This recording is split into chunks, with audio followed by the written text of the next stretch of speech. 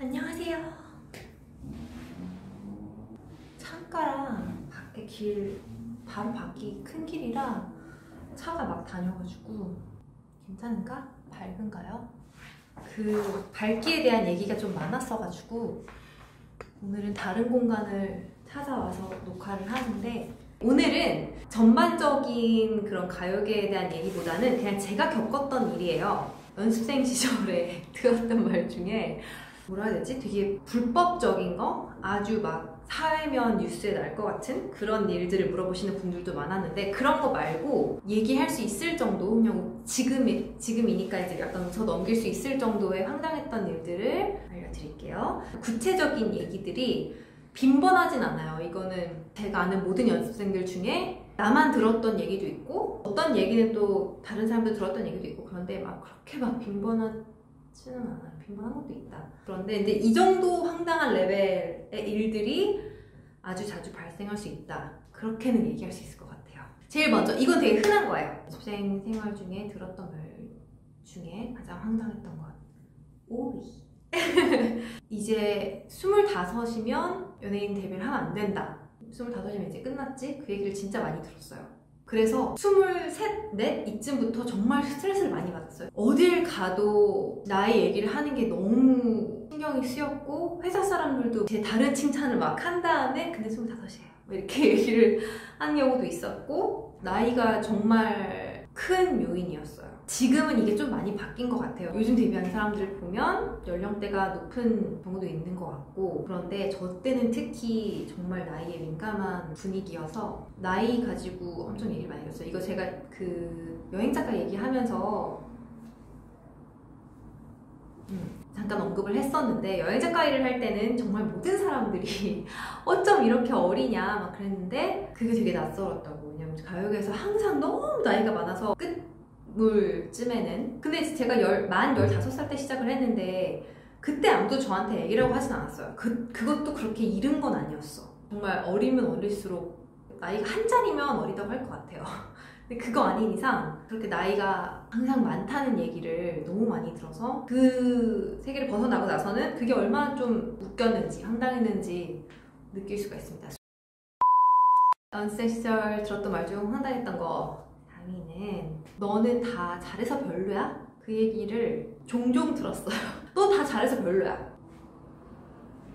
왜? 다 잘하면 좋은 거 아니야? 저는 다 잘하고 싶었어요. 저는 처음 연습을 할 때부터 나는 뭔가 춤 멤버가 될 거야. 나는 메인 보컬이 될 거야. 뭐 그런 건 없었어요. 나는 다 잘하고 싶어. 나는 다, 모든 걸 다 잘하고 싶어. 그런 게 있었는데 좀 터무니없이 다 욕심을 내진 않았어요. 저는 작곡은 하고 싶지 않았고 그거에 능력이 전혀 없다는 걸 아주 빨리 깨달았기 때문에 그 지난 영상에서 말씀드렸는데 그리고 딱히 연기는 오면 하고 싶지만 난 연기도 꼭 해야 돼 그런 건 또 없었어요. 회사 들이 뭐 계획을 세워주는 거에 따라서 해야지 그런 건 있었지만 나는 노래는 좀 포기하고 춤을 더 해볼까? 뭐 춤은 약간 여기까지 타협하고 노래를 더 해볼까? 그런 생각은 한, 한 번도 한 적이 없어요. 나는 다 잘해야지 이런 마음을 갖고 있었는데 실제로 뭐 평가를 한다거나 오디션을 본다거나 방송 출연을 해서 미팅을 한다거나 그런데 거절을 하는 거는 상관없잖아요. 거절은 정말 그냥 난 네가 그냥 별로 내 스타일이 아니야 이런 이유로도 거절을 할수 있으니까 너는 너무 다 잘해서 좀 그래 라는 얘기를 들으면 좀 더 그럴싸한 얘기를 해보지 그래 라는 생각이 들게 되는 거죠.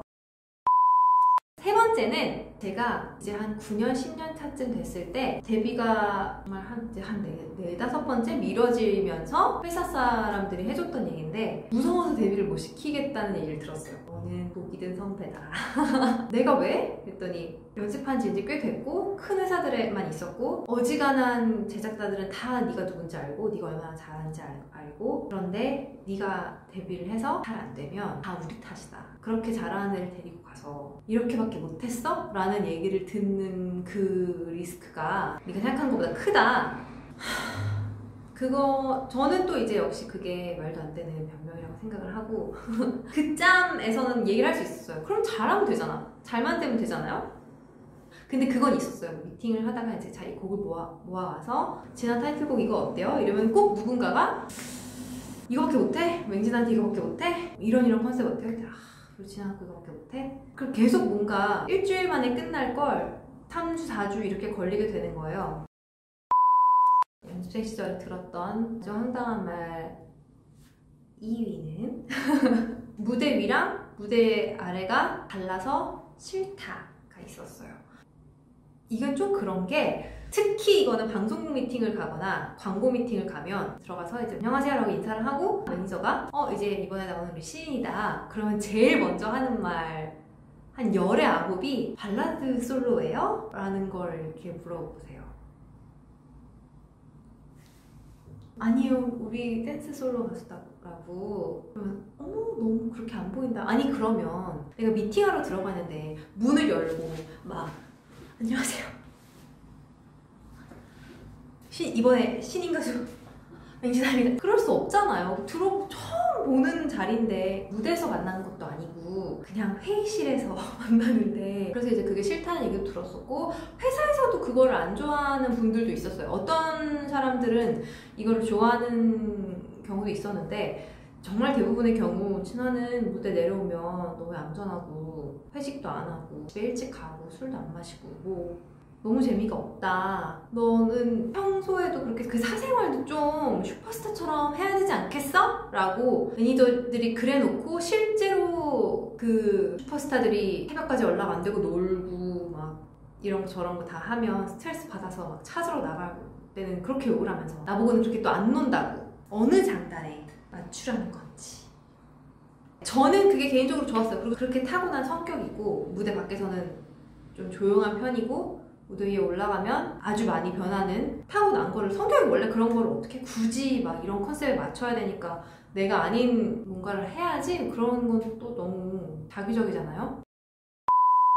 뭔가 얘기하다 보니까 되게 임팩트가 없는 것 같은데 1번은 임팩트가 있어. 1번은 제가 장담하는데 확실히 모두가 황당하다고 생각을 할 1번은 제가 말을 못하겠어요. 너무 창피해서 내가 한 얘기도 아닌데 이 얘기를 듣고 그 자리에서 막 다 엎어버리고 나오지 않았다는 게 그때는 정말 들, 들었을 때 너무 황당해서 뭐지? 할 말을 잃었어요 할 말을 잃는 적이 별로 없는데 제가 네. 그리고 이거는 이제 그 당시에 같이 연습생 했던 사람들은 들었는데 그 말을 했던 사람한테 찾아가서 다시 한 번 물어본 어, 연습생들도 있었어요. 진짜 이런 얘기를 하셨냐. 서두가 길었죠. 1번은 어느 회사인지 말할 수는 없어요. 근데 새로 오신 분이 그 회사가 되게 정치 싸움이 심했어요. 위에서. 누가 누구 밀어내고 막 어쩌고 저쩌고 싸우고 그래서 얘가 미는 가수가 먼저 나왔으면 좋겠고 막 그런 일들이 생기면서 저를 이제 미뤄야 되는 상황에서 나한테 이제 특별히 뭐 핑계댈 거리가 없는 거지. 근데 이분이 아예 다른 일을 하다가 음반 일을 하시게 된 거예요. 가요계 경력이 한 일주일 이래 제 앨범을 이제 미뤄야 되는 얘기를 본인이 이제 하신다고 저를 찾아서 지나 이제 앨범을 잠깐 미뤄야 될 것 같다. 근데 그 이유가 너는 모르겠지만 음반 제작하는 사람들이 쓰는 기계가 있다. 그 기계에 성별과 생년월일과 키 몸무게 막 이런 거를 입력을 하면 그 사람이 이 시기에 데뷔를 했을 때 2021년 뭐 2월 이렇게 입력을 했을 때 이때 데뷔를 하면 잘 될 것인지 안 될 것인지를 결과를 출력해주는 그런 기계가 있다. 그 기계에 지금 너의 정보를 입력하니 지금 데뷔를 하면 안 된다는 결과가 나왔다. 그래서 반년을 미루고 싶다. 최소 반년을 데뷔를 미루고 싶다는 얘기를 들었을 때 뭐라 그래? 여기, 여기다 대고 뭐라 그래? 그래서 제가 어 저는 아무리 좀 상황이 안 좋아도 할 말을 대놓고 하면 했지 비꼬는 건 정말 참으려고 하거든요. 어른이니까 몰랐겠지? 네, 모르는 건 죄가 아니야. 이렇게 생각을 하려고 하는데 그때는 참을 수가 없는 거예요. 어 그런 기계가 있어요? 몰랐네. 그런 기계를 어떻게 내가 못 들어봤을까? 제가 이 회사에 있을 때도 이분이랑 일할 때도 이 회사에 있을 때도 그런 기계를 들어본 적이 없는데 지금 이 업계 초특급 시크릿을 새로 모신 너께서 저한테 알려주는 거예요. 연습생들과 가수들과 매니저들과 작곡가들에게 극비에 붙여지던 그 기계를 지금 저한테 알려주시는 건가요? 아, 뭐 언제부터 연습생 생활 했어요? 저, 네, 그런 기계가 있는 줄은 처음 듣네요, 여기서. 그 기계는 국산인가요? 그거 한글로 입력하나요? 물어봤는데 이제 막 얼굴이 빨개지기 시작하면서 막 횡설수설을 해요. 그래서 아, 밑도 끝도 없는 변명을 해. 그래서 그냥 제가 대표님이랑 직접 얘기를 할게요 하고 나오고 그리고 그분은 거의 한 반년도 안 돼서 어디로 가신 것 같긴 해요. 행방을 알 수 없는 분이 찰나에 저한테 헛소리를 하고 가셨어요. 그게 1등입니다. 근데 이, 이런 얘기를, 이 기계 얘기를 들은 사람은 저뿐이라고 확신을, 확신을 하는데 이 수준의 황당한 얘기를 듣는 거는 꽤 많아요. 그런 상황이 왔을 때 나는 침착하게 잘 대처할 수 있는가? 나는 바보 멍청이야! 라고 소리를 지르지 않고 지혜롭게 그 상황을 넘길 수 있는가 한번 생각해 보시기 바랍니다. 지금 와서 이렇게 돌이켜 보며 얘기를 하려니 그렇게 싫진 않았어요. 재밌었어요. 여러분들도 재밌으셨었으면 좋겠습니다. 다음 영상에서 만나요.